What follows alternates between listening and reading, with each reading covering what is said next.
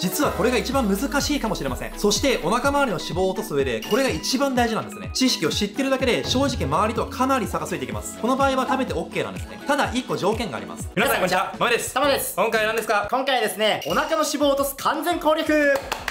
この動画はお腹の脂肪をどうにかしたいけど何をすればいいのかわからない人に向けてお腹の脂肪を落とすために必要な情報を全て詰め込んだ完全攻略の動画になります。僕らのところによくお腹の脂肪を落とす方法がありすぎて困惑しています。情報がありすぎて何を信じればいいのかわからないですっていうコメントをもらいます。そして皆さんの中にもお腹の脂肪を落とす方法の正解を知りたいって思う方がいると思うんですね。確かにお腹の脂肪を落とす方法って言ってもいろんな人が情報を発信してるしそれぞれダイエット方法って違うので何を信じて実行すればいいのかわからないですよね。実際に僕らもいろんんなダイエット方法を試してきたんですけどどれだけ頑張ってもお腹の脂肪が落ちないという時期がありました。ただそのやり方そのものがお腹の脂肪が落ちない原因の一つだったんです。もしそのまま中途半端なダイエット方法を続けていたらここまでお腹の脂肪を落とすことはできませんでした。そこで皆さんが迷わずにお腹の脂肪を落としてダイエットができるようにこれ1本見れば全部わかるような動画を作りました。これだけ見てやるべきことをちゃんとやればお腹の脂肪を確実に落ちます。実際に僕らも今日お話しすることを徹底したことによってお互い2 0キロ以上のダイエットに成功してバキバキの腹筋を作ることができたんですね。またこれは僕らだけじゃなく僕らの食事指導生も同じやり方でお腹の脂肪を落として誰もが一度は憧れる割れた腹筋を手にしてます。ぜひ今回紹介する方法を自分のものにしてお腹の脂肪が落ちないっていう悩みを解消していきましょう。また今回紹介するお腹の脂肪を落とす方法以外にも筋肉をつけるための正しい運動方法や食事方法についても配信してますんでぜひお見逃しのないように今のうちチャンネル登録をお願いします。じゃあ今回は6つのステップに分けてお腹の脂肪を落とす方法を説明していきます。ステップ6まで見る時間がない人も安心してください。今回のステップ6つのうち3ステップまで見れば誰でもお腹周りの脂肪を落とすことができます。そして4ステップ以降はさらに加速してお腹周りの脂肪を落としたい方法を紹介しています。他の人よりも差をつけてお腹周りの脂肪を落としたい人はぜひ最後までご覧ください。お腹の脂肪を落とすステップ1は体脂肪を理解する。ダイエットを始める前にまず自分が悩んでる脂肪っていうのは何なのかっていうのを考えることが大事なんですね。でこれ体脂肪を理解するってこれ必要なのって思った人もいると思うんですけどここはしっかりと理解することがめちゃめちゃ大事なんですよ。でなんでこれ大事かっていうと体脂肪について理解することで正しく体脂肪を落とすための努力をすることができるからなんです。ね。よくダイエットでさまるまるダイエットがいいとかさこれこれいいってあるじゃん。流行りのダイエットあるもんね。そうそう。まあ世の中にねいろんなダイエット方法ってあるんですけどそれがいいかどうかっていうのはこの体脂肪を落とす方法をしっかり理解してるか理解してないかによって変わってきちゃうんですね。ここを理解してないと間違ってダイエット方法をしてしまう可能性があるんでまずは体脂肪って何なのかとかどうやって根本的に落としていくかっていう方法を知るってことがすごく大事です。さらにこの体脂肪を理解することによって何がいいかって言ったら体重に一喜一憂しなくてよくなるんだよね。体重が増えたらやっぱ自分を責めちゃってそれがきっかけでダイエットをやめちゃう人もすごくたくくさんいるんですよ。あとは長く続いたダイエットの結果1日だけ暴飲暴食をしちゃった時に体重が増えてそれでやめちゃうって人も多いのでここの体脂肪が何なのかっていうことを理解することはとても大事です。まずは体脂肪の種類について説明します。この体脂肪っていうのは大きく2つに分けられていて内臓脂肪と皮下脂肪の2種類に分けられるんですね。内臓脂肪っていうのは字のごとく臓器の周りについた脂肪のことで見た目によって分かるような脂肪ではないんですよ。なので痩せてる人でも意外と内臓脂肪があったりします。一方で皮下脂肪っていうのは皮膚の下にある脂肪のことで見た目で判断できるため見た目に直接影響を与えてしまう脂肪になります。そのため皆さんがつまんでいるお腹周りの脂肪っていうのはこの皮下脂肪になるんですね。つまりお腹をへこませたり腹筋を割りたいと考えている人はこの皮下脂肪を落とす必要があるんです。ただ実はこの皮下脂肪っていうのは内臓脂肪に比べて脂肪を分解する細胞が少ないと言われているので一番最後に落ちる脂肪なんですね。実際ねこれ僕らも経験したんですけど、うん、ボディメイクのコンテスト出る時って体脂肪を極限まで絞るんですね。その時に一番最後に残るのがこのお腹の皮下脂肪なんですよ。ここが一番大変じゃん。大変だね。俺らですら本当に最後の最後まで絞ってるもんね、うん、なのでまず前提として皆さんが落としたいお腹周りの脂肪つまり皮下脂肪っていうものは落ちにくいんだよっていう認識を持っといてください。で今皮下脂肪が落ちにくいって話をしたんですけど皆さんの中でダイエット始めて23日で結構体重落ちましたよと、うん、1キロ2キロ落ちましたよっていう人いると思うんですよ。でそれが脂肪じゃないのって思った人もいると思うんですけどこれ違うんですね。ダイエット始めてすぐに体重が落ちてる場合ってそれって体脂肪じゃなくて水分とかむくみとかなんですよ。例えば炭水化物を抜くとお米っていうのはほぼ水分なんで炭水化物を取らないことで体重が落ちたように見えたりとかあとは運動した直後って汗出るじゃないですか、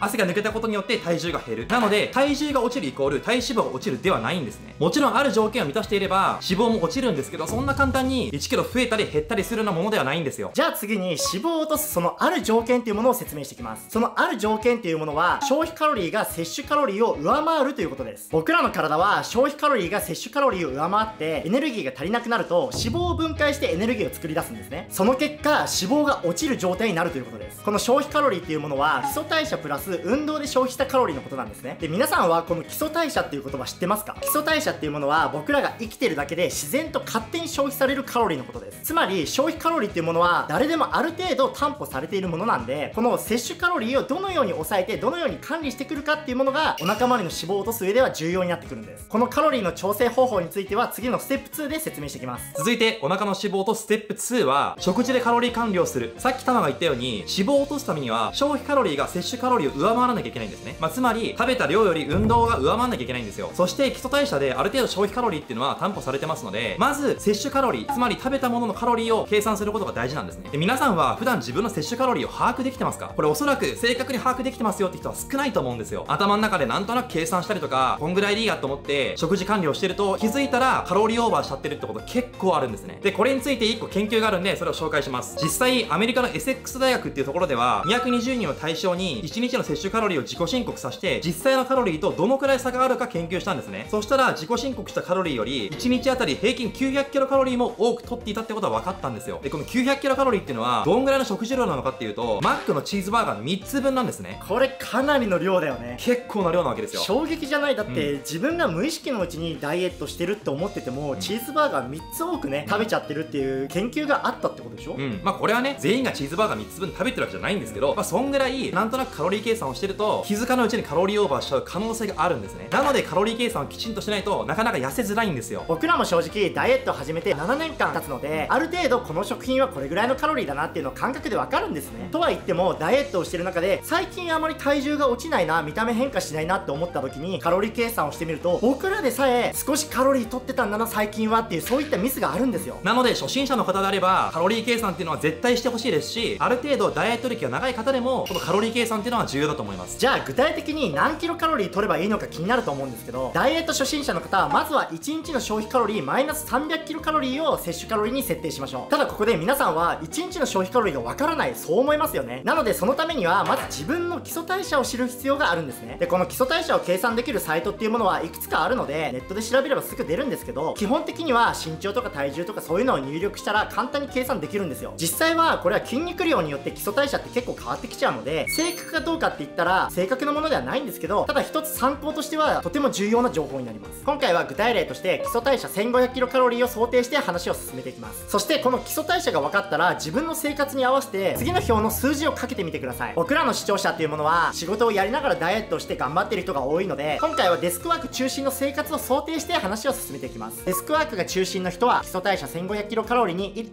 2をかけて1800キロカロリーになります。またジムトレを週に2から3回やる人は2325キロカロリーになります。今回はこの計算によってデスクワーク中心で基礎代謝1500キロカロリーなので1日の消費カロリーが1800キロカロリーになるんですね。そうすると1日の目安摂取カロリーっていうものは冒頭に話した1日の消費カロリーからマイナス300キロカロリーなので今回は1日の摂取カロリーを1500キロカロリーに設定して話を進めていきます。で今タマがカロリー計算の方法を紹介したんですけど数字が出てきてめんどくさいとそう思ってる人もいると思うんですよ。そこでカロリー計算がめんどくさい人は僕らの公式 LINE の特典である一撃でカロリー計算がわかる自動計算シートを用意してるんですね。でそこには年齢とか身長とかを入力すれば自分の消費カロリーとかっていうのが計算できますのでもしそれを使ってみたいと思う人は概要欄の公式 LINE を追加してみてください。そして1点この摂取カロリーを設定する際に注意点があります。それは基礎代謝を下回る摂取カロリーを絶対に設定しないことです。この基礎代謝を下回るカロリー設定って皆さんイメージつきますか？大体低カロリーなものを食べてる人がこれに当てはまるんですけどこれをやっていると途中で代謝が落ちて痩せづらくなっちゃったりとか筋肉が減って自分の思ったような体にならないっていうことになっちゃうんですね。これ過去に僕も失敗あって当時筋トレ始めた時って基礎代謝が1600キロカロリーだったんですよ。そこで痩せようと思ってダイエットしようと思って1日の摂取カロリーを1000とかにしてたのね。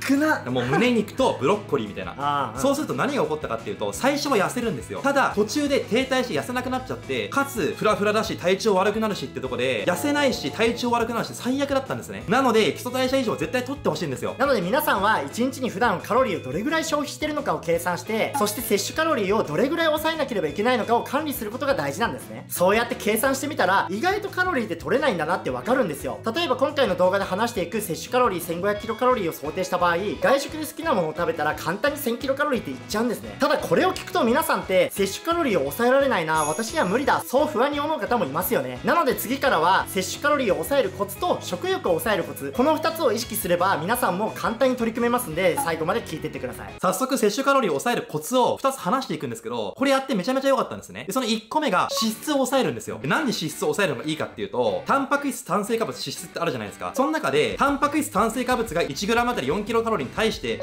質っていうのは 1g あたり 9kcal なんですよ。まあ、つまり、脂質っていうのはカロリーが高いんですね。なので、そのカロリーが高い脂質を抑えることで、必然的に全体のカロリーも抑えることができるので、摂取カロリーも調整しやすくなるんですよ。で、この脂質を調整するってとこなんですけど、じゃあ具体的にどうやって調整するか知りたいですよね。それがまあ方法いろいろあるんですけど、例えば、鶏肉を食べるときは皮を外すとか、鮭を食べるときに脂質の多い銀鮭じゃなくて、脂質の少ない秋鮭を選ぶとか、そういう少しの変化で脂質って結構抑えられるんですね。あと俺らってこの脂質を低くするために調理方法まで意識してるよね。意識してるね。まあ、具体的にどう意識してるかっていうと、揚げ物だと脂質が多くなっちゃうんで、揚げるんじゃなくて焼くとか蒸すとか、あとはそれ以外には洋菓子っていうのも脂質が多いんで、なるべく和菓子を食べるとかっていう風にすれば、食べる量は変わんなくても脂質を抑えることができるんで、そんなにストレスってないんですね。次に食欲を抑えるコツの2つ目なんですけどそれはジュースを飲まないことなんですね。すごくシンプルなんですけど結構大事なんですよ。皆さんは無意識のうちに甘いジュースだったりとかカフェラテみたいなものを注文ってしてませんか？飲み物だから固形に比べてまだ大丈夫でしょって思って飲んでる人もいると思うんですけどそういったジュースの中には砂糖がたくさん含まれてるんですね。まあ、つまりはちょっとした飲み物だけでも炭水化物を意外と多く取っちゃう可能性があるんです。なので摂取カロリーをできるだけ抑えるためにもこういった甘いジュースを控えることが大事になります。まあ、とは言っても甘いジュースを一切飲まないってなかなか難しいと思うのよ。そうだね。まあ普通にダイエット始めたての人だったらなかなか全部制限するってやっぱ難しいよね、うん。だから僕らもジュースが普段好きなので代わりにゼロカロリー飲料を飲んでるんですねでこのゼロカロリー飲料はいろんな種類があるんですけど僕らが数十種類のゼロカロリー飲料を試してきて本当にジュースに近く美味しかったものがセブンのゼロカロリー飲料シリーズだったりとかゼロカロリーのカルピスだったりデカビタあとはほんの少しカロリーが入ってるんですけどキレートレモンの2700だったりとかあとはコンビニやスーパーでも売ってるモンスターの白だったり黄緑。ここら辺は本当に美味しくジュースの代用品として僕らも今でさえ活用してますんでぜひ無駄な糖質とか無駄なカロリーを取りたくないっていう方はこういったゼロカロリー飲料に置き換えてみてください。ゼロカロリー飲料を紹介すると必ず言われるのが人工甘味料がとか体に悪いんじゃないかって言われるんですけどそれは大量に飲んだ場合で何でもそうですけど飲みすぎ食べすぎってのは良くないんですね。普通に1日1本とかそれぐらいだったらそんなに心配するほど影響は出ないんでそこまで気にしなくて大丈夫です。もちろん理想としてはお水だったり炭酸水だったりコーヒーお茶っていう飲料が一番いいのでできればここら辺の飲み物を最優先にして次はゼロカロリー飲料どうしてもダメだったらたまにはジュース。そういった順番でダイエットを進めてみてください。次に食欲を抑えるコツを4つ話していきます。まず1個目がしっかり噛んで食べること。これどういうことかっていうと僕らの体っていうのは食事を始めてから満腹感を感じるまで大体20分かかると言われてるんですね。これ皆さんも経験あると思うんですね。それが食べ放題ちょっと思い出してほしいの、うん。食べ放題って最初のうちマジで今日いけるって思うのね、だけどさ大体多分20分ぐらいなんだろうね。それを超えてきたあたりに急になんかもう無理だっていうあの現象っていうかあるね。うん。あれって多分その満腹感を感じるまでにやっぱり大体20分ぐらいがあるから最初のうちは今日めっちゃ食えるって思っても後々はやっぱ食えなかったっていうことが起こるんですよ。なので早く食べれば食べるほどたくさんカロリー取れちゃうんですよ。なので食欲を抑えるためになるべくゆっくり噛んで食事をとることが大事なんですね。2つ目の食欲を抑えるコツはタンパク質と食物繊維を取ることです。この2つの栄養素を摂取することで満腹感っていうのが得られやすくなるんですね。なぜこのタンパク質と食物繊維を食べたら満腹感につながるのって思いましたよね？これはちゃんとした理由があってそれはこの2つの栄養素が消化に時間がかかる栄養素だからです。消化に時間がかかるっていうことはお腹の中に食べ物が残ってる時間が長いっていうことなので満腹感が長続きしやすく食欲を抑えることができるんです。ただこれを聞いてがむしゃらにタンパク質をたくさん取ろうとする方もいるんですけどそうしてしまうと先ほど話したようにタンパク質の中にも鶏肉の皮だったりとか脂質を多く含むものもあるので調理方法を工夫したりそういった余計な脂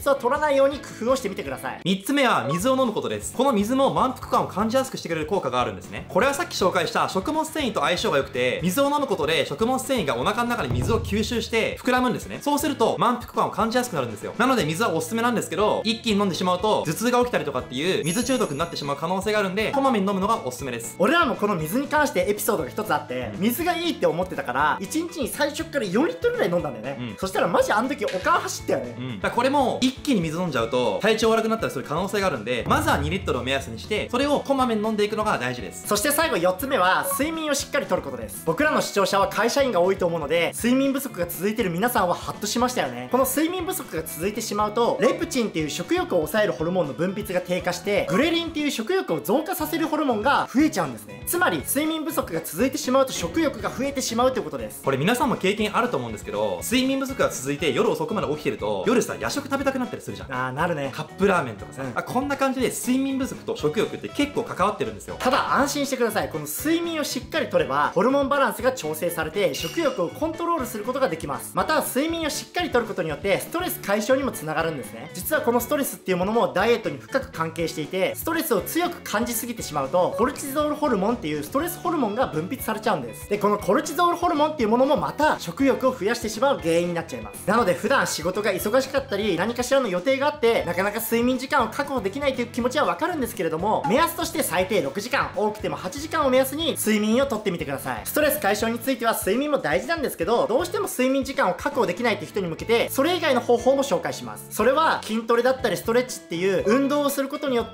ストレスを緩和させたりとかあとは寝る前にスマホを触らないことによってブルーライトを浴びないので睡眠の質が上がるんですね。こういった工夫でも睡眠時間が短い中でも睡眠の質が上がったおかげで最低6時間と同じような睡眠をとることもできますんでぜひどうしても睡眠時間が確保できないという方はこういった工夫をしてみてください。ここまでカロリーのことだったりとか食欲を抑えるコツを聞いてダイエットってこんな簡単にできちゃうんだ。そう思った方もいるかと思います。ただ実はカロリーを調整するだけでは不十分なんですね。ということでその不十分な要素っていうものを次以降のステップ3で説明していきます。お腹の脂肪とステップ3は PFC バランスを整える。さっきタマがお腹の脂肪を落とす上でカロリー調節だけでは不十分って話をしたんですけどそれがこの PFC バランスに大きく関わってるんですね。でこの PFC バランスって何かっていうと人間が生きていく上で重要な3大栄養素があるんですね。それがタンパク質脂質炭水化物の3つがあるんですけどそれの頭文字を取ったのが PFC バランスと言います。でこの PFC バランスを整えないといくら摂取カロリーを抑えてもリバウンドしやすくなったり筋肉がつきづらくなったり食欲が増えてしまう。そういうことがあるんですね。で逆にこの PFC バランスを整えるとリバウンドしにくくなったり満腹感を感じやすくなったり筋肉がつきやすくなったりと体を作っていく上でいいことだらけなんで摂取カロリーを調整するのに加えてこの PFC バランスもすごく大事なんですよ。でこの PFC バランスが大事って話をしたんですけど、まあ、そうは言ってもこの PFC バランスをどうやって整えるかわかんないですよね。でダイエット方法っていうのは糖質制限とか脂質制限とか断食とかいろんな方法があって混乱してると思うので具体的にどういうダイエットをした方がいいかってことを話していきます。そこで僕らが7年間筋トレやダイエットをしてきてたどり着いた結論を皆さんに話します。それは脂質制限ダイエットをしてください。要は炭水化物とタンパク質をしっかりとってその分脂質を抑えてカロリーを調整するっていった方法なんですね。この脂質制限ダイエットがおすすめな理由としてはまず挫折しづらいっていうことがあります。というのもこの脂質制限ダイエットではダイエット中の敵である白米を食べることができるんですよ。ここ多分結構大きくて日本人って生まれた時からずっとお米を食べてるじゃん。そうだね。それを制限するってこと自体がそもそも難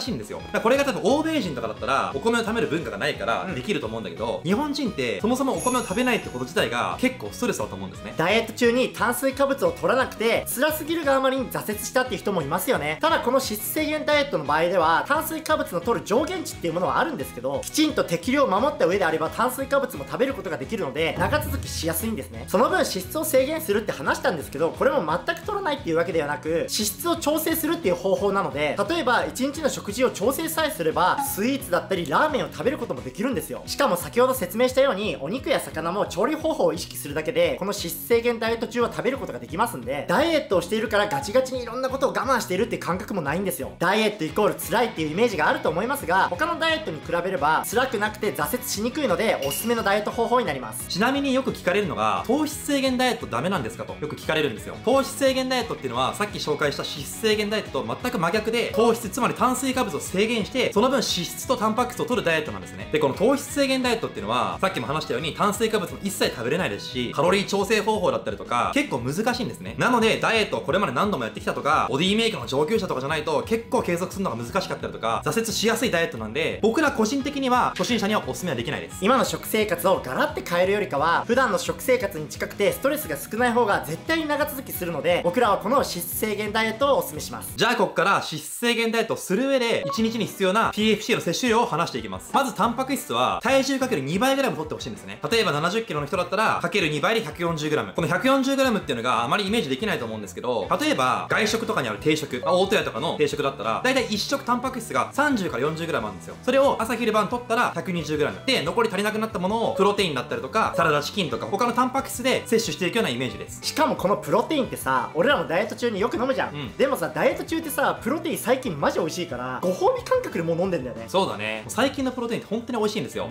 で、このプロテインって何がいいかっていうと、気軽にタンパク質を取れるっていうのもそうですし、余計な炭水化物とか脂質が入ってないんで、純粋なタンパク質を取れるんですね。なので基本は固形の食事から取って、足りなくなった時にプロテインを飲むのがおすすめです。ここまでタンパク質は必要って話をしてきたんですけど、じゃあなんでそもそもタンパク質は体重かける2倍グラム取らなきゃいけないのか疑問に思いませんか？で、その理由は、タンパク質をしっかり取ることで筋肉をつけるためなんですね。筋肉をつけることで代謝が上がって消費カロリーが増えるんですよ。そうすると痩せやすくなるんですね。しかも筋肉っていうのは筋トレして筋肉がつくだけじゃなくて、常に合成と分解を繰り返してるんですよ。つまり筋肉が減ったり増えたりしてるんですね。なので、タンパク質を取らず何もしないと筋肉ってのは分解されちゃうんですよ。そこで必要なタンパク質の量っていうのが体重かける2倍グラムっていうのは言われてます。次に、この脂質についてなんですけれども、脂質は1日40から50グラムを取りましょう。先ほども言ったように、この脂質制限ダイエットでは、脂質を全く取らないっていうわけではないんですね。なぜなら、この脂質にはビタミンの吸収率を上げたりとか、免疫力を上げたり、そして人間にとって大事なエネルギー源になるので、全く取らないっていったことをやってしまうと、むしろダイエットに悪影響なんですよ。よく減量末期のボディービルダーが風邪をひくって話聞いたことありませんか？あれっていうのは減量末期になってやっぱプロのボディービルダーである限り脂質も極端に減らしてるんですね。だからこそ免疫が低下して風邪をひきやすくなるっていうことも言われてます。なので脂質制限ダイエット中は全く取らないっていうよりかは一定数の脂質を取るように意識してみてください。最後に炭水化物です。ここまでの話でタンパク質と脂質の目安の摂取量は分かったと思います。じゃあ炭水化物はっていうとタンパク質と脂質を引いた残りのカロリーを取っていきます。ちょっとここで復習すると炭水化物とタンパク質は 1g あたり 4kcal で脂質が 1g あたり 9kcal でしたよねそして今回の摂取カロリーが1500キロカロリーを想定しているので、1500引く、タンパク質の560引く、脂質の450、イコール490。つまり、490キロカロリー分、炭水化物を食べるということになります。490キロカロリーって言っても、なかなかイメージ湧かないと思うんで、1個具体例話しますと、490キロカロリーは、炭水化物で言うと、122g で、お米の場合 100g で炭水化物が 35g なんで、だいたい 350g 食べれるんですね。今回の場合、1日お米を 350g 食べれるという計算になったんですけど、この計算以外にも消費カロリーを増やして、量を食べれたりとか、運動するかしないかによっても変わってくるんで、ここは実際自分の数字で計算してみてください。ここまで計算した数字をまとめると、今回の脂質制限ダイエットの場合、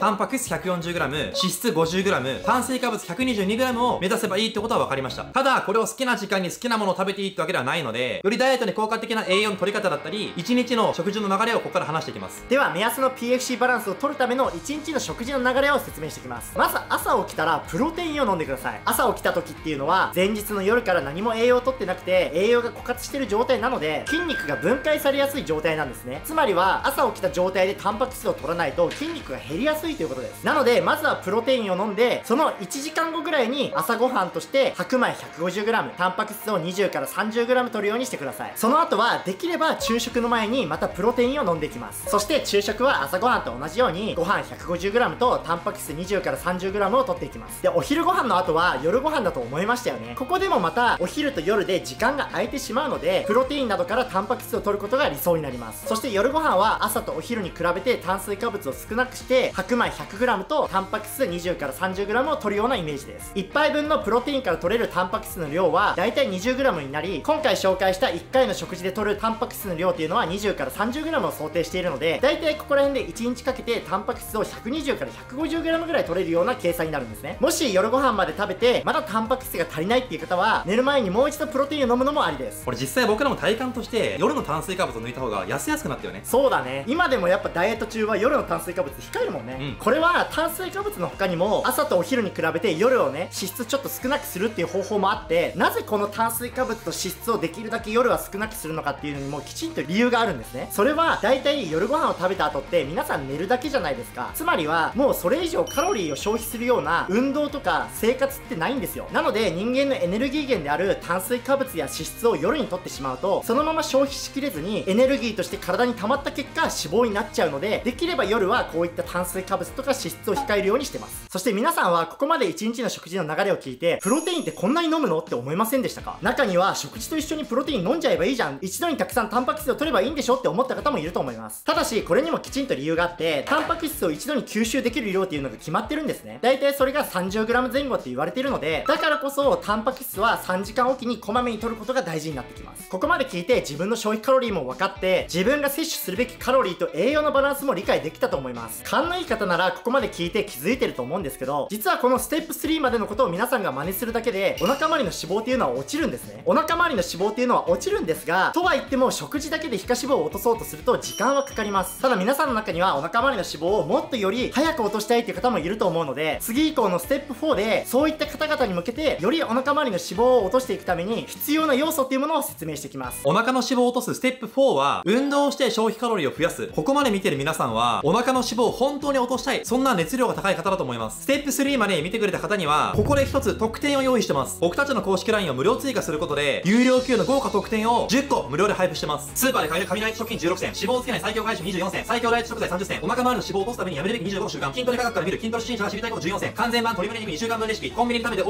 OK&NG なダイエット食品28選、プロテインの間違った飲み方7選、本当に美味しいプロテイン8選、ダイエット筋肉に最悪な NG 行動14選、痩せ始めと太り始めなサイン14選。正直この特典だけでも、お腹周りの脂肪を落とすための知識を十分に習得できます。ただし、これ以降に話すステップ4からステップ6までの知識を知ってるだけで、正直周りとはかなり差がついてきます。ぜひ今年こそ絶対にお腹周りの脂肪を落としたいっていう人は、最後まで見てみてください。改めて大事なんで何度も言うんですけど、運動しなくても食事だけでお腹周りの脂肪を落とすことはできるんですね。優先順位としては、運動よりも食事の方が大事なので、食事のバランスをちゃんと整えた上で、運動するようにしてください。じゃあ、お腹周りの脂肪を落としたいと思った皆さんは、どんな運動をイメージしましたか？おそらく真っ先に思い浮かんだのは、腹筋トレーニングだったと思います。ただし、実は腹筋トレーニングをしたからといって、お腹周りの脂肪が落ちるわけではないんですね。ここで一つ論文を用いて紹介します。これは実験でも明らかになっていて、アメリカで40歳までの男女を対象に6週間腹筋をしてもらったんですね。そうすると、筋力は増えたんですけど、体脂肪率とかお腹周りのサイズは改善されなかったっていう研究があります。この実験でもわかるように、僕らの体っていうのは、脂肪吸引とかしない限り部分痩せっていうことはないんですね。ただ皆さんの中には、過去にマッサージを受けて部分痩せしたんだけどっていう人もいますよね。ただそれっていうのは脂肪ではなくて、マッサージによってむくみが取れたことによって、一時的に部分痩せしてるように見えてるだけなんですね。なので、これは腹筋トレーニングに限らずなんですけど、筋トレをやったからといって、その鍛えた部位の脂肪が落ちるわけではないという認識は持っておきましょう。じゃあお腹周りの脂肪を落とすためには、どんな運動したらいいのって言いますと、それが筋筋トレと有酸素なんですね。さっき筋トレしても、その部位の脂肪落ちないって言ったじゃんって思った方もいると思うんですけど、確かに筋トレをしたから、直接的にそこの部位の脂肪が落ちるわけではないんですね。じゃあ何かっていうと、筋トレをすることによって、筋肉が増えて代謝が増えるんですよ。そうすると、基礎代謝がどんどん上がっていって、痩せやすく太りにくい体になるんですね。ここで皆さん覚えてますか ?1 個復習になるんですけど、痩せるためには、摂取カロリーよりも消費カロリーを増やすことが大事って話をしましたよね。そこで筋トレをして筋肉がついて、基礎代謝が上がることで、消費カロリーが増えるんで、結果的に脂肪を燃えやすい体を作ることができます。なので筋トレをする場合は、なるべく胸とか背中とか足っていう大きい筋肉を鍛えることで、より筋肉量が増えて代謝も上がりやすいんで、そういった大きい筋肉から鍛えることで、より効率的に痩せやすい体を作ることができます。だからこそ俺らもさ、ダイエット中とか特に足とかもやってたもんね。うん、最近ではだって豆はもう足トレーニングもやっててさ、うん、それこそ基礎代謝とかも上がったりしたんじゃない？上がったね。もともと基礎代謝が1600だったんだけど、ちょうど去年測ったら2000キロカロリーだったんで、まあ、400増えたんだよね。うん、まあ、400っていうと結構なね、カロリーなんで、筋トレを続けていくと、本当にね、太りにくい体になります。ここまで聞いた皆さんは、じゃあ腹筋トレーニングって意味ないの？もうやんなくていいよねって思いましたよね。ただ実は、全身トレーニングと同時に腹筋トレーニングもすることが大事なんですね。腹筋トレーニングをすることで、腹直筋と言われるシックスパックの筋肉を大きくすることができるので、より凹凸感のある腹筋を手にすることができるんです。皆さんは、ただ単にお腹周りの脂肪を落とすだけじゃなくて、どうせだったら男らしいかっこいい腹筋を手に入れたいですよね。そのためには、この腹筋トレーニングも大事になるので、全身トレーニングに加えて、腹筋トレーニングも種目として取り入れてみてください。そしてここで皆さんに腹筋を効かせるコツを2つ紹介します。それは反動を使わないことと呼吸を止めないことなんですね。腹筋トレーニングっていうのは種目によって反動を使って楽に状態を起こすこともできるので、反動を使った結果、あまり腹筋に効かなかったっていうことがあります。なので、どうせ腹筋トレーニングをやるのであれば、なるべく反動を使わずに、丁寧に腹筋の力を使って起こすようにしてみてください。次に効かせるコツの呼吸なんですけど、これは筋トレ中の呼吸の仕方として、力を入れる時に息を吐いて、力を抜く時に息を吸うっていうポイントがあるんですね。腹筋トレーニングで言えば、お腹を丸めて力を入れた時に息を吐いて、そして戻る時に息を吸うっていうことがポイントになります。筋トレっていうと、ジムでやった方がいいのか、家でやった方がいいのか迷いますよね。僕ら的には、まずタクトレで習慣化して、タクトレが慣れてきたら、ジムに入会する。この流れが一番いいんじゃないかなと思います。で、これなんでかっていうと、ジムに入会しても、行かなかったらお金もったいないじゃないですか。なので、まずは家でやって、僕らも過去にかなりタクトレを出してますので、ぜひそっから始めてみてください。過去にタクトレはかなり膨大な数を出してるんですけど、その中でも特におすすめの3つを紹介します。1つ目は、約1300 500万回再生されてる体幹の動画です。体幹を鍛えることで、インナーマッスルを鍛えることができて、姿勢改善されて、よりかっこいい体に近づきます。2つ目は、550万回再生以上されてる、お腹腰回りに効く腹筋トレーニングです。お腹周りの腹斜筋を鍛えることで、よりお腹が引き締まったり、その結果、逆三角形の体に近づきます。3つ目は、340万回以上再生されてる、上半身をまんべんなく鍛えることができるトレーニングです。腹筋だけでなく、上半身の筋肉を鍛えることで、より男らしい体を手にすることができます。さらに上半身を鍛えることで、基礎代謝が上がって、痩せやすいすい体になります。格トレで何をやったらいいかわかんない方は、ぜひこの3つをやってみてください。そしておすすめの運動の2つ目が有酸素運動です。有酸素運動は筋トレと違ってその日の消費カロリーを稼ぐっていったことが目的になります。有酸素運動って聞くと皆さんは何をイメージしますか？有酸素運動にはランニングだったり水泳とかエアロバイクとか色々なものをイメージすると思うんですけど僕らの一番のおすすめはウォーキングになります。このウォーキングをおすすめするには2つの理由があるんですね。1つ目は取り組みやすさです。ウォーキングって特別何か準備をするものでもないですしわざわざジムに行かなくてもできるものだからすごく取り組みやすいんですね。皆さんも昨日いつウォーキングしたかイメージしてみてください。きっと会社に行くまでだったりとかスーパーに行くまでだったりとかいろんな場面で歩いていたと思います。このように生活の中で何かのついでにできるっていう場面がとても多いんですね。なので心理的なハードルも低く継続しやすいという観点から僕らはウォーキングを推しています。ウォーキングをおすすめするもう一つの理由が筋肉が分解されないからです。実は皆さんがダイエット中にイメージしてるようなランニングっていうものはかなり高強度の有酸素運動になってしまうのでエネルギーは消費されるんですけどその結果エネルギー不足になって筋肉が減ってしまうっていう可能性があるんですねこの動画の中では何回も言っているんですけど筋肉が減ってしまうっていうことは基礎代謝が落ちてしまうのでどんどん痩せにくい体になっちゃうんですこれ本当にエピソードがたくさんあって、一番最初の減量の時、うんあの時ってさ、ランニングしたりとか、有酸素をかなりの時間やったりとか、消費カロリーがすごかったんですよ。まあ、つまり、基礎代謝より消費カロリーの方が全然上回ってたんですね。そうすると、運動しても運動しても、全全然痩せないって負のループになってたんですよ。実際に消費カロリーで見てみたらランニングは1時間あたりで約700キロカロリー消費するのに対してウォーキングは半分近い370キロカロリーなんですね。なので皆さんが普段からダイエット中にランニングで手っ取り早く痩せたいって思う気持ちもわかるんですよ。もちろん体重の数字を減らすっていう目的があればそういったランニングをしながらダイエットするっていうのもいいと思います。ただ皆さんが目指したい体っていうのはどんな体ですか？きっと皮下脂肪を落としてバキバキの腹筋を手にしたり筋肉量が残っていたりとかっこいい体を手に入れることが目的ですよね。そういった皆さんはぜひウォーキングをしてみてほしいです。ここまで聞いて皆さんの中には筋トレも嫌いだしウォーキングも退屈だからやりたくないそう思う方もいますよね。そういった方は筋トレやウォーキング以外でも大丈夫ですので自分に合った自分に続けられる運動をやってみてください。例えば学生時代にテニスをしているっていう人であればテニスをするのもいいですしむしろゲーム感覚で運動したいっていう人は任天堂スイッチで出てるリングフィットとかでもいいです。筋肉が分解してしまうような激しい運動をしない限りは何をしてもいいと思ってますしまず運動習慣があるだけで素晴らしいことだと思ってますんでぜひ自分にできそうな運動をまず始めてみてくださいお腹の脂肪とステップ5は、生活習慣を整える。ここまで話したように、カロリーと栄養バランスを調整して、さらに運動すれば、お腹の脂肪は確実に落ちていきます。でもどうせなら、効率的に痩せたくないですか？早く結果が出た方が、モチベーションにもなりますし、挫折もしにくくなるんで、効率的に最短距離で脂肪を落としたい。そう考える人も多いと思うんですね。そこでこのステップ5は、生活習慣を整えてほしいと思ってます。生活習慣を整えることができれば、ダイエットをより加速させることができますし、逆に生活習慣が悪ければ、正しく努力しても効果が薄れてしまうかもしれません。生活習慣っていうと、少し面倒だなと思うかもしれないんですけど、実は面倒くさいことって一つもないんですね。少し意識するだけで、ダイエットをより加速できる4つの習慣を紹介していきますので、ぜひ日常のちょっとしたとこで意識してみてください。まず1つ目に意識してほしいことが、二度寝をしないということです。皆さんは土曜日、日曜日、仕事が休みだからといって、二度寝してませんか？仕事が休みだからといって、二度寝をしてしまうと、ダイエットの効率が悪くなっちゃうんですね。これなんでかっていうと、二度寝をしてしまうと、前日の夜の食事から朝ごはんまで時間が空いちゃうんですね。夜ご飯食べてから、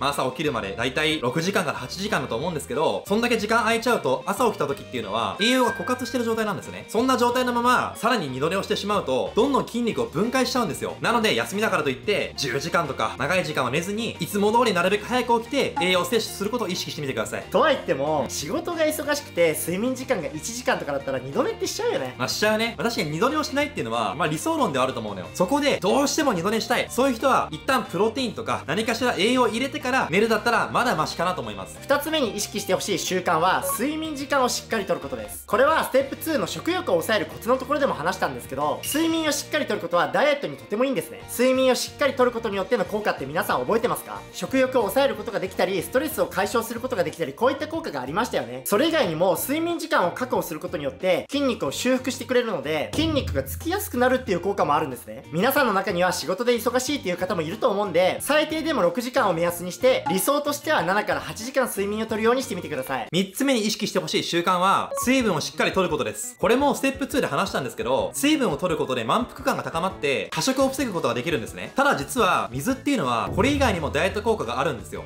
例えば水を飲むことで、血流がスムーズになって、食べた栄養を筋肉に送れるようになったりとか、体の組織が活発になって、代謝が上がったりとか、それ以外には老廃物も排出されるので、腸内環境も改善されるんですね。で、この腸内環境境が良くなると、体が余計な脂肪をためにくくしてくれるので、太りにくくなる効果があるんですね。で、水を飲むポイントなんですけど、なるべく常温だったり、左右を1日2リットルを目安にこまめに飲んでいくことがおすすめです。その他の水分で言うと、お茶とか炭酸水であれば同じように飲んでも大丈夫です。これ俺らもダイエット中によく飲むけどさ、コーヒーもめっちゃいいよね。いいね。コーヒーとかお茶っていうのは、カテキンとかカフェインってものが含まれてるんで、脂肪燃焼効果にいいんですよ。ただコーヒーに関しては1個注意点があって、カフェインっていうものが覚醒作用があって、夜飲むと睡眠の質が悪くなっちゃったりとか、利尿作用で脱水になるる可能性もあるので、飲みすぎには注意してください。4つ目に意識してほしい習慣は、ストレスを解消することです。皆さんは定期的にストレスを発散できていますか？もし今ストレスを溜めてしまってるとか、普段溜め込んでしまう癖があるっていう人は、何かしらのストレス発散方法を見つけてみてください。ストレスを溜めてしまうと、食欲を増加させてしまうグレリンっていうホルモンが出てしまったり、感情的になってジャンクフードを爆食いしてしまうっていう可能性があります。僕らも食事指導生の何人も見てきたんですけども、ストレスを溜めてしまったことによって暴飲暴食に走り、後から罪悪感を感じてモチベーションが低下した結果、ダイエットをやめてしまうって人もいました。なので皆さんは方法としては何でもいいんですけど、僕らとしては筋トレといった運動をすることによってストレス発散になってますし、皆さんであれば自分の趣味の時間を持つとか、カラオケで大声を出すとか、そういった方法でもいいので、何かしらストレス解消の方法を見つけてみてください。いよいよ最後です。お腹の脂肪を落とすステップ6は継続する。最後のステップは継続です。ここまでいろんな方法を聞いて、最後これかよって思うかもしれないんですけど、実はこれが一番難しいかもしれません。そしてお腹周りの脂肪を落とす上で、ここれが一番大事なんですね。皆さんの中で、もしかしたら過去にダイエットの失敗経験があって、それをまた同じことを繰り返すんじゃないか、そう思って怖くてなかなか踏み出せない気持ちもわかります。僕らも今でこそダイエットを継続しましょうっていうのを何度も言ってるんですけど、僕ら自身もこれまでにダイエットがうまくいかなくて、何度も挫折しかけたことはあったんですね。でもなんとかこうやって7年も継続してるんですね。なので僕らの実際の経験も踏まえて、継続するためにはどうすればいいか、ここを最後に話していきます。まず、継続できない人に多いのが、完璧主義な人です。一度自分で決めたことを守れなかった時に、自分はダメなんだだと自分のことを責めていませんか？そういった完璧主義の人は、自分への期待値が高いので、最初からすごい高い目標を掲げちゃうケースが多いんですね。ただ、皆さんのように自分に自信があって、期待値が高いっていうのはめちゃくちゃいいことだと思います。ですが、継続することっていうのは本当に難しくて、ジムに通って筋トレを1年間継続する確率っていうのがたった4%なんですよ。1年間筋トレを継続しようとして、100人中96人が挫折してしまうって結構驚きじゃないですか。なので、最初から無理をした目標やスケジュールを立てるのではなくて、今の生活習慣に近いようなところから始めていってほしいんですね。それが今回何度もお勧めしてるウォーキングとか脂質制限の食事なんですよ。ランニングだと痩せるんですけどなかなか続かなかったりとか、糖質制限だと白米を食べないのがきつくなってリバウンドしちゃったりとか、だからこそ、まずは小さく始められるウォーキングだったりとか、脂質制限がおすすめなんですね。要は、いきなり100点を求めるのではなくて、自分のできる範囲の中で、一つ一つダイエットにいいことを増やしていけばいいんです。次によくある継続できない原因が、食欲に負けてしまうことです。で、この食欲っていうのが、とにかくたくさん食べたいなのか、大好きなスイーツを食べたい、まあ、これによって変わってくるんですけど、とにかくたくさん食べたい、お腹いっぱいにならないって場合は、食欲を抑えるしか方法はないんですね。ステップ2のとこで、タンパク質と食物繊維を取りましょうとか、睡眠をしっかり取りましょうって話をしてきたんですけど、食欲が止まらないっていうのは、必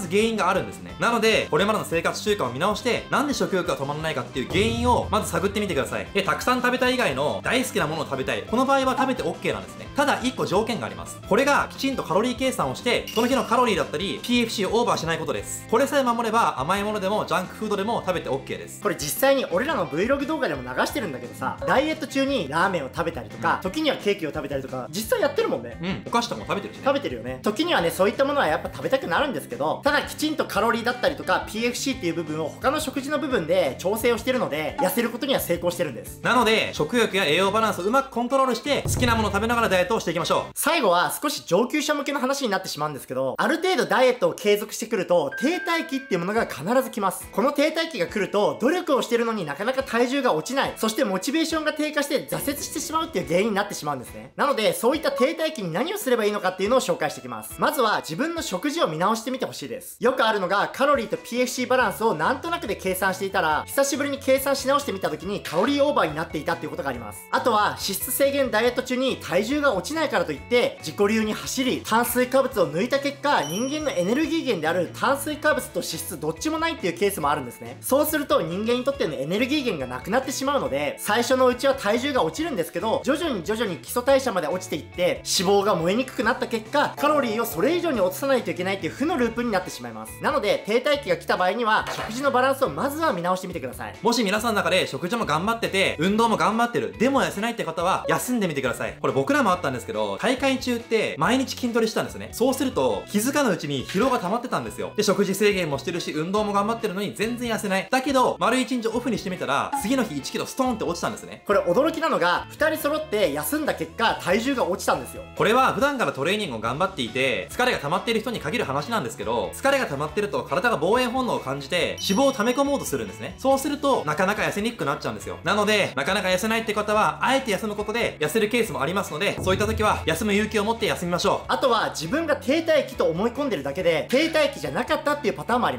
例えばその勘違いしやすいケースで言うとむくんでいて見た目の変化がなかったりして体重が停滞していると錯覚してしまうんですけど実は脂肪は落ちているっていうケースがあるんですね。また脂肪っていうのは体の中で分解されて体重に反映されるまでに1から2週間かかるって言われてるんですよ。なんで皆さんが普段から食事や運動を意識して脂肪を減らしていても体重に反映されるまでは少し時間がかかるっていうことです。なので1日1日の体重の変化を見るのではなくて1週間ごとの体重の変化だったりとかそれこそ見た目による体の変化で判断してみることによって自分が今停滞しているのかそれとも順調なのかっていうのが分かります。大前提ですがお腹周りの脂肪を落として腹筋を割ろうと思った場合は誰でも時間はかかります。なのですぐに結果が出なくても焦らずに継続することが大事です。以上がお腹周りの脂肪を落とす完全攻略でした。まず自分がお腹周りの脂肪を落とすために何から始めればいいのかっていうのが理解できたと思います。この動画を最後まで見てくれた皆さんはすでに周りの方よりも知識を身につけて大きく一歩リードしています。そしてこの動画が見終わった頃には今ダイエットをしてやるぞっていう気持ちが高ぶってると思うんですねですがステップ6にもあったんですけど目標を高く掲げたり自分への期待値が高すぎてしまうとまた継続できない原因にもなってしまうので今の自分にとって何が必要なのかっていうのを冷静に分析してお腹周りの脂肪を落とすために少しずつ努力をしていきましょうそして僕らの公式 LINE では、総額30万円以上かけて作った合計232ページにわたる有料級の超豪華特典10選を無料プレゼントしてます。スーパーで買える紙ライト食品16選、脂肪をつけない最強外食24選、最強第一食材30選、お腹周りの脂肪を落とすためにやめるべき25の習慣、筋トレ価格から見る筋トレ初心者が知りたいこと14選、完全版鶏胸肉2週間分レシピ、コンビニに食べて OK&NG なダイエット食品28選、プロテインの間違った飲み方7選、本当に美味しいプロテイン8選、ダイエット筋肉に最大の NG コード14選、痩せ始めと太り始めのサイン14選、またダイエットに欠かせない小難しいカロリー計算がたった30秒でできる自動カロリー計算シートも無料プレゼントしてます。さらに公式 LINE には、たくさんの診断機能がついていて、自分が痩せた方がいいのか、筋肉をつけた方がいいのかをアンケートに答えるだけで、わかるタイプ別診断。タクトレで何をやっていいかわかんないっていう人は、アンケートに答えるだけで、どのタクトレをやればいいのか、一発でわかるぴったり動画診断。あなたの悩みから、どのサプリを飲めばいいのかわかる？適切サプリ診断。このように特典以外でも、公式 LINE を追加するだけで、ダイエットや筋トレに超役立つ機能もたくさんついています。ぜひ下の概要欄から公式 LINE を無料追加して、豪華特典と便利機能を活用してください。最後にお腹周りの脂肪を落とす6つのステップを復習します。1つ目が体脂肪を理解する。2つ目が食事でカロリー管理をする。3つ目が PFC バランスを整える。4つ目が運動をして消費カロリーを増やす。5つ目が生活習慣を整える。6つ目が継続するでした。お腹周りの脂肪を落とすためにダイエットをしていて何をやったらいいのかわからなくなった時には何度もこの動画を振り返ってみてくださいそしてお腹周りの脂肪を減らして一緒にかっこいい体を目指していきましょうというわけで僕ら日本一の筋トレ YouTuber を目指してこれからも頑張りますのでぜひ応援してくれる方はチャンネル登録高評価お願いします。また次回の動画でお会いしましょう。バイバイバイ